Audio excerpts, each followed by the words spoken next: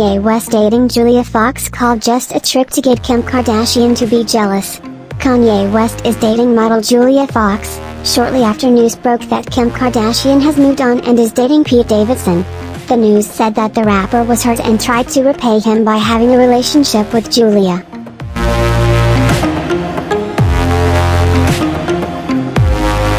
Source close to the two stated that Kanye West and Julia Fox's romantic relationship is an attempt to heat up Kim Kardashian. He was also called just looking for attention. It was just a trick to get attention. There was no other explanation when she chose, Julia Fox, to appear in public, said the source as quoted by page 6.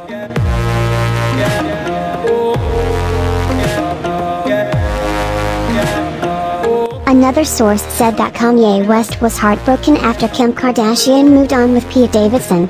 He also said that the father of four had asked Kim Kardashian back to him when he was dating Julia Fox.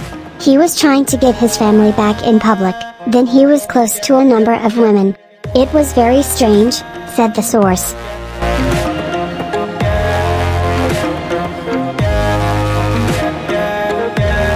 Previously, Kanye West was reported to have bought a house which is located in the same area as Kim Kardashian's residence.